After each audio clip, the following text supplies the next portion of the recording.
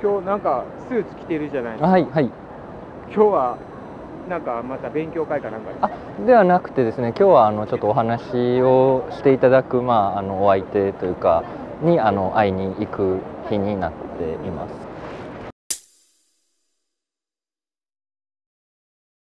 えっと、師匠の、えっと、畠山守七段なんですけれども気持ちの持ち方とかそういう人生についてとか教えていただくあのありがたい師匠なので、まあ、大一番を前にみたいなところもあって、まあ、お話ししてもらいただける機会をまあ作ってもらったっていうのはあります。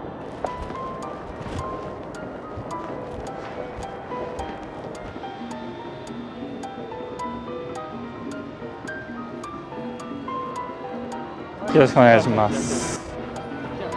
はい。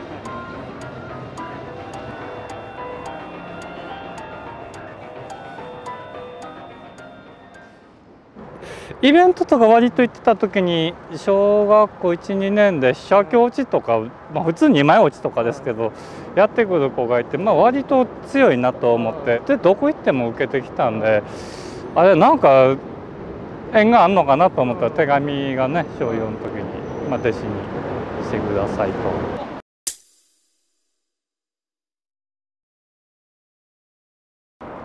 僕はあの出身道場とかにあのプロの先生がいたっていうのがなくて、まあ、プロを目指すにあたってやっぱり師匠の存在が必要で、まあ、そうなった時に子供ながらまあ自分にも感じるところがあったというか純粋にあの手つきがこう鋭くピシッてこう刺されたとかもまあ一つのあの自分としては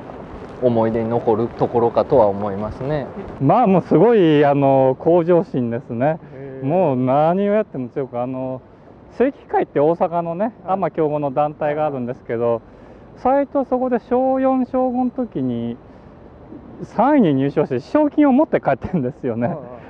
親にもう自分はプロなんだから、あのそのこれからの小遣いいらんとこのお金で大会出るとか言うてとかそれ聞いた時うわこれはもうなんか気持ちは心はプロやなこの子はとか。畠山先生だったからまあ教われたことっていうのも数多くあると思いますしこういう運動方法とかが結構最近流行ってるみたいやからちょっとやってみるみたいなそれはまあ筋トレみたいな感じです。体幹トレーニングですかね。正座がやっぱりこう楽になるとかそういろいろいろまあやっておいた方がいいなって思う効果もいっぱいありましたし斉藤先生に怒ったこととかあります？思ったことはねあのやっぱり研究会とか子どもの頃からあそういう仕草はちょっととかまあただ2回見てまあ3回目出たら叱ろうかなとか思ったら出ないんですよ。さ なんなんか気配を全部気配がね気配が分かって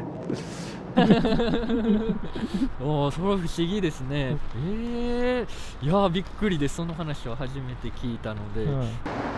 ちなみに公式戦ではい対局されたことはあるんですか、そうですね。2回あの、えー棋士になって半年後に王位戦と、はい。その後に王将戦はい。とどっちも負けましたけど、あ。なんかはい。やっぱりちょっと読まれ なんか読まれてんのかな？というか弟子が師匠に公式戦で勝つことはまあ恩返しというんですけれども、まあ、あの師匠の方はまあそんな返し方はいらんというふうに思ってはるようで、はい、ちょっと負けたけどあの時はまあうちょっと楽し嬉し楽しかったですねなんか。あこんな風に感想戦するようになったんだとか。そうですねなんか楽しいという感情の方が強かったのが、まあ、自分としてはいい方に作用して。勝った時ってどんな気持ちなんですかぶっちゃけ。ああそうですねまあ,、うんまあ今まで教わったことをぶつけた結果で、まあ、僕の方が勝てたっていうのはすごい嬉しいというか、えー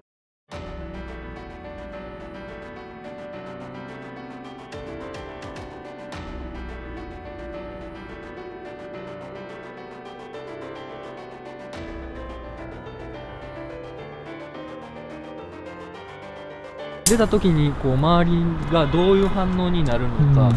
自分だからどうって思うのかとか、そこはちょっと悲観的なところで悩みはあった。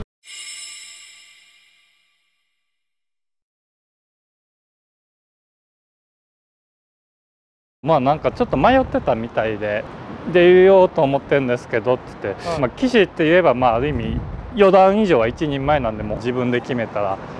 もういいいいそれはいいと思うとは言ったんですけど自分のことは自分でもう最後は決めてっていうふうに言われてまあ自分もそうか一人の一人前の騎士なのかというふうに思ってそれで自分に自信をまあ持た持てるようになったっていうのは一つあるかなと思います。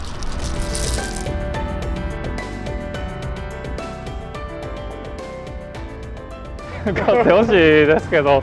ひょっとしたらこれがものすごい何年もねダメージ引く苦しみになるのかそれか勝ってもう一皮むけるのか分かんないから